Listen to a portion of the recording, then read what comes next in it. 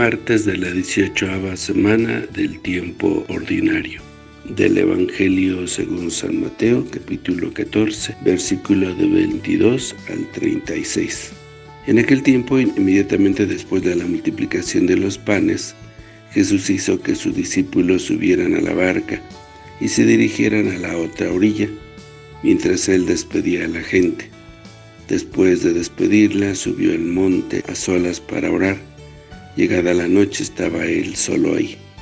Entretanto la barca iba ya muy lejos de la costa y las olas la sacudían, porque el viento era contrario.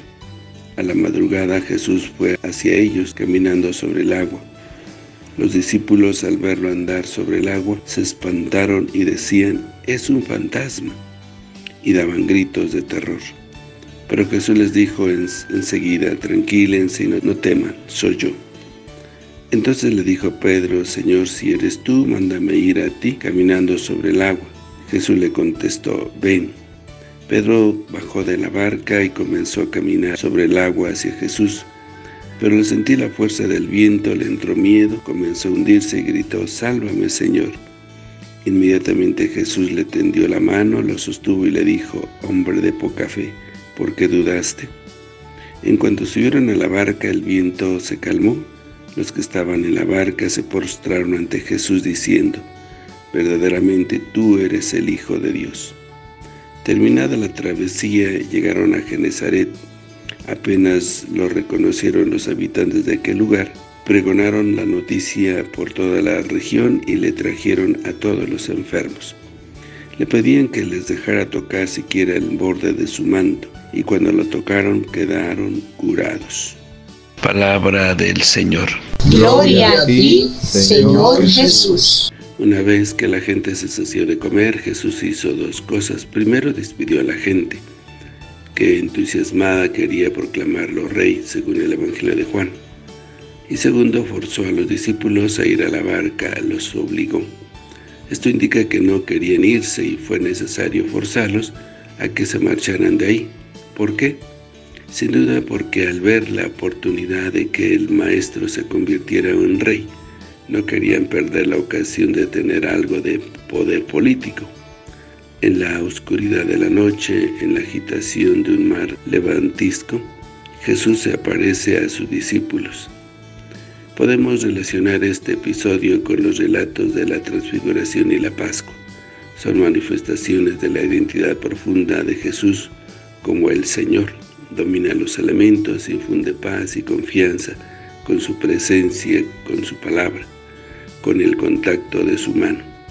Los discípulos reconocen su identidad, dicen verdaderamente tú eres el Hijo de Dios.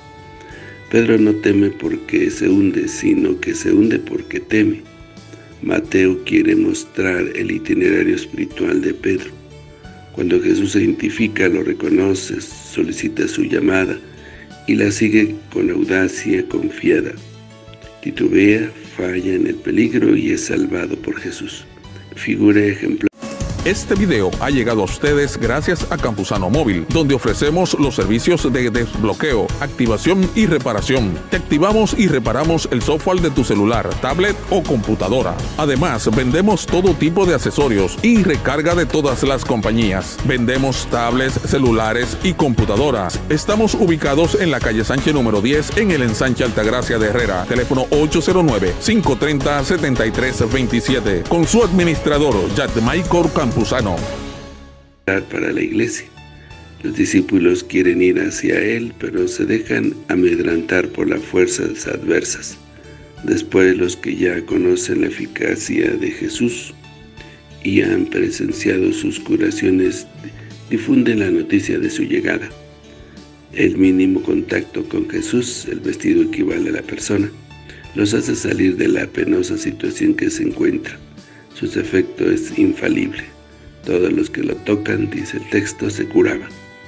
Como toda la realidad de Jesús es vida, el mínimo contacto con Él produce vida y salvación. El Evangelio nos invita a hacer una experiencia total de Jesús, rompiendo viejos prejuicios y nuestras seguridades.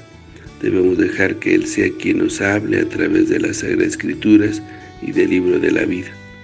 Este es uno de los episodios evangélicos que mejor ilustra, por una parte, la situación de la comunidad cristiana en su histórico caminar en medio de la, de la dificultad y la tribulación, y por otra, la presencia permanente del Señor resucitado en la barca de Pedro. También es símbolo de la vida de cada uno de nosotros, con sus tempestades particulares. Sin Jesús en la barca todo parece hundirse. Cuando lo dejamos subir, el viento se opaca. En los momentos críticos tendremos que recordar la respuesta de Jesús. Ánimo soy yo, no tengan miedo. Y confiar en Él. La aventura de Pedro también nos interpela, por si tenemos la tendencia de fiarnos de nuestras fuerzas a ser un tanto presuntuosos. Por una parte hay que alabar la decisión de Pedro que deja la seguridad de la barca para intentar avanzar sobre las aguas. Tenemos que saber arriesgarnos y abandonar seguridades cuando Dios nos la pide. La vida nos da golpes que nos ayudan a madurar. Como Pedro, Jesús nos podrá reprochar también a nosotros, hombres de poca fe, porque dudan. Arriesguémonos a, a, pesar del viento, pero convencidos de que la fuerza y el éxito están en Jesús. Jesús había dicho yo, yo estaré con ustedes siempre hasta el fin del mundo. Que el Señor los bendiga.